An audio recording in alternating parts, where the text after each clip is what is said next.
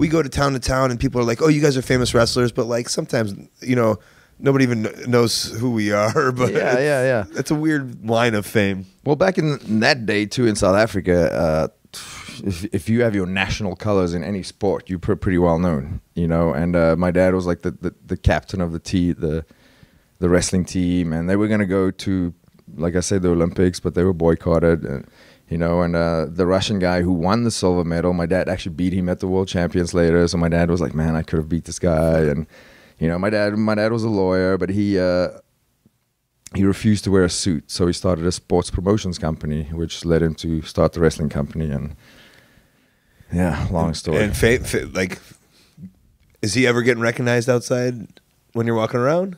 oh yeah, all the time, man. Okay. He was on. He was on like he was clever. Like he was like the the cocky heel, the Pink Panther. Mhm.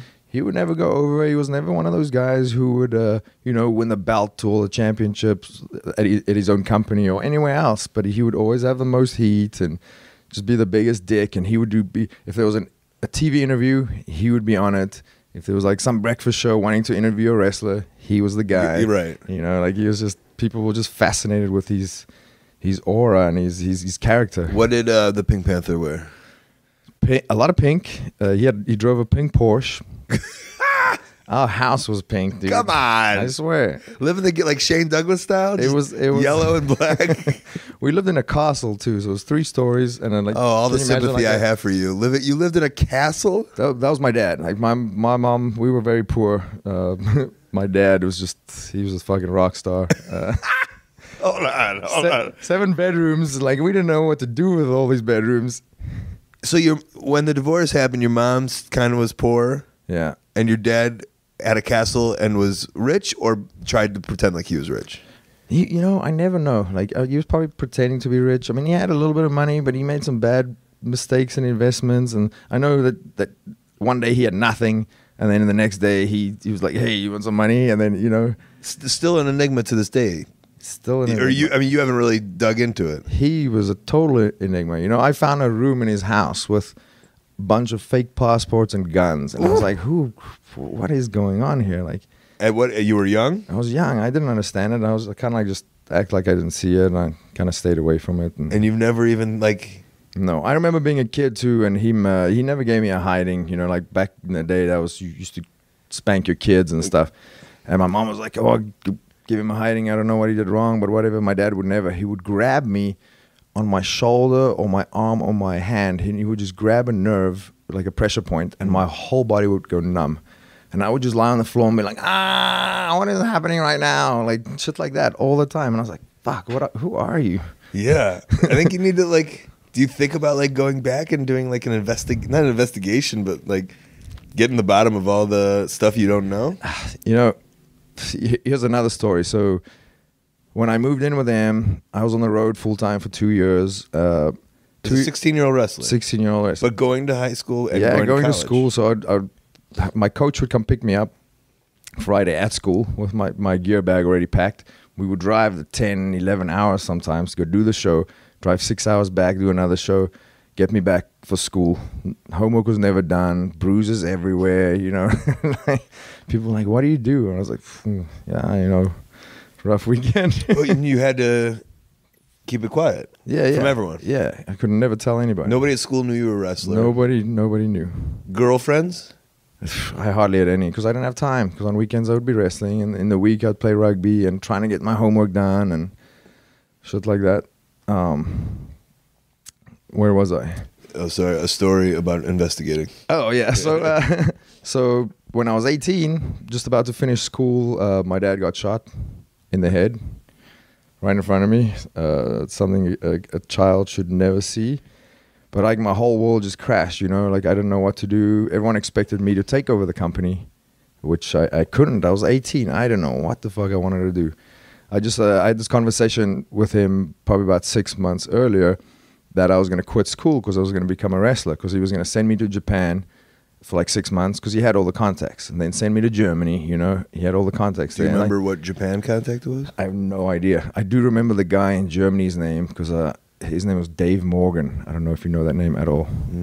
He was one of those carny wrestlers that you know back in the day where the where the, the guy in the ring challenges anybody Yes. and he would just fucking you know make them tap within ten seconds. Mhm. And uh, he he basically he trained my dad a lot, and my dad used to bring him out all the time to train the new talent. And he was like 58 years old. He had, you would he would come into the ring with a cigarette, and he would just out wrestle 20 guys and go for like two hours. He's the toughest fucking. tough, tough guy, but a real carny. Mhm, Like, Perfect. so yeah, when my dad got shot, like I, uh, I didn't know what to do. Everyone was like, "Take over the company," but I, I told him that uh, when we had this conversation, I was like, um, "I'm gonna drop out of school," and he goes, "No, then you're gonna pay rent. You have to finish school." So I was like, "But I'm gonna become a wrestler anyway. Just send me to Germany now." He's like, "No, you're gonna finish school." So I promised him that I'd finish school. So the day he got shot, I was in my final exams. Like I probably had like four or five things to write. And since I promised him, I finished it. But once I finished, man, I was just, I was destroyed. So I packed a little backpack, left the country, didn't tell my family, didn't tell anybody. Uh, I don't even know what happened to the company. I just, I went to England and I started backpacking through England. Hmm. You know, for four years, didn't watch wrestling, didn't do anything. Like, I didn't want anything to do with wrestling. And no contact with your mom or nobody, nobody. I just, just was there like was- a missing thing on you or I was I was trying maybe probably you know I was I was just trying to you know I was doing some soul searching trying to figure out what I need to do in life and you know I started ended up working at a hotel and then at a restaurant you know I like to pay the bills and blah blah blah eventually I was like man I need to you know maybe I should go to college and get a degree and you know so I can you know be something Mm. I, I ended up studying in, in London, got two degrees, got my master's, which made my mom very happy later on in life. Uh, but I remember I heard I was, I was walking in the, in the in this area and I heard bumping in this hole, and I, I don't know why, but I just walked in, and as I walked in, AJ Styles wrestled Jonny Storm, and I was just like, holy shit! I started training the next day again. This was after four years.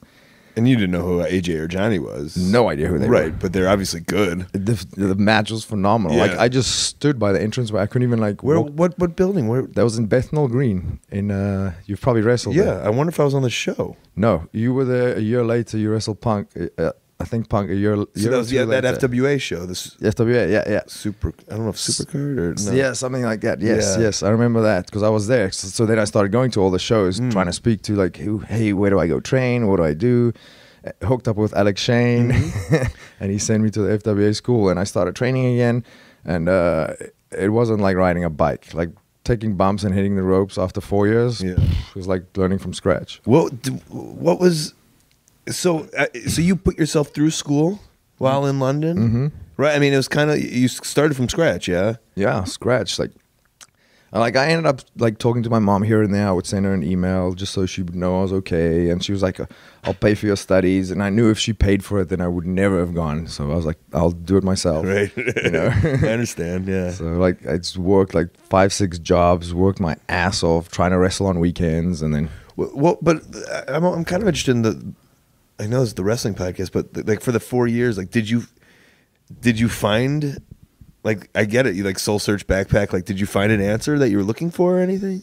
Well, I, I kind of figured that, that when I walked in there and that, that feeling I got from watching like AJ and I walked in as they did this opening spot and like AJ did this like fucking springboard backflip thing and I was just like, I was like, whoa, this is how much wrestling has evolved because I didn't know anything about indie wrestling too when, back back then, Mhm. you know. So Yeah, it was probably just like shitty headlocks and stuff in yeah, South Africa. yeah, yeah, exactly. It was like, and then I was just like, wow, is this what it's evolved to? This is I can I can do flips and shit. So Mhm. I just need to learn how Yeah, to get in here. It's kind of lucky how also like those two are like the top top professional. You know, like imagine you walked in and some shitty dudes. That, like, you I know, I like- know. I would have walked right out. Yeah, yeah. So that was kind of like my, my my sign, I think.